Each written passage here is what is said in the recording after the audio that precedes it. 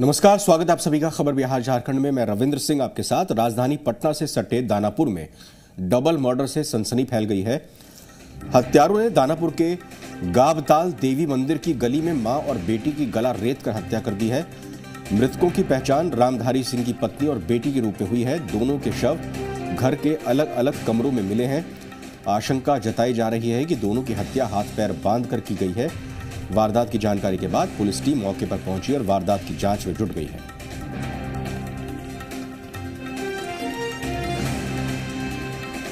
तो double murder की घटना यहाँ राजधानी पटना से सटे दानापुर से सामने आई है। हत्यारों ने दानापुर के गाब तालाब देवी मंदिर की गली में माँ और बेटी, इन दोनों की ही गला रेत कर हत्या की है। मृतकों की पहचान कर ली गई है। ये रामधारी सिंह की पत्नी और बेटी हैं, जिनको हत्यारों ने मारा है।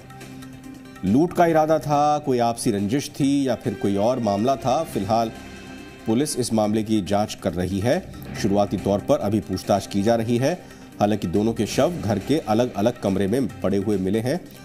आशंका जताई जा रही है कि दोनों की हत्या हाथ पैर बांधकर किए गए हैं। हाथ पैर बांधकर की गई है। जैसे ही वारदात की जानकारी पुलिस को मिली तो मौके पर पुलिस की टीम पहुँची और वारदात की जाँच कर रही है।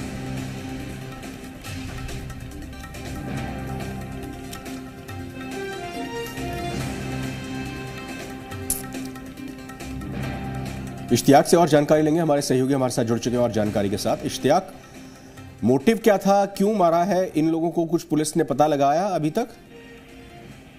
बता दें, रविंद्र, जिस तरह ये दोनों माँ बेटी की शव कमरे से बरामद की गई है। जानकारी के अनुसार इनके इनके भाई जो है, वो रांची में किसी बैंक में काम किया करते थे और दो दिन से वो अपने माँ बहन से संपर्क करने की कोशिश कर रहे थे, लेकिन संपर्क नहीं हो पा रही थी। आज सुबह जैसे ही वो घर पहुँचे हैं तो घर में ताला था और ताला खोलने पे दोनों बॉडी बरामद हुई है। तो कहीं ना कहीं जो प्रथम दृष्टिकोण पुलिस की जा रही है, वो इनके पिता पर जा रही है। क्योंकि इनके पिता से काफ़ी दिन से विवाद चला आ रहा था और पिता अलग रहते थे, माता, माँ और बच्ची अलग रहती थी। इनकी पालन पोषण इनके भाई के द्वारा की जाती थी।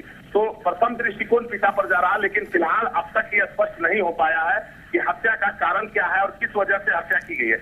लेकिन जिस तरह हत्या की गई है पीछे हमें हाथ, लड़की की हाथ बांधी हुई है माँ की भी हाथ बांधी हुई है, पैर बांधी हुई है तो कहीं ना कहीं बेसर तरीके से इसकी हत्या की गई है। और हत्या के पीछे वजह क्या है, राज क्या है, ये पुलिस जल्द ही खोलने की दावा कर रही है। और मौका वारदात पे शव पड़ी हुई है। फ़िलहाल टीम को बुलाया गया है ताकि एफएसएल टीम आकर उस बॉडी के पास के आसपास के चीज़ों को उठाकर जाँच करे।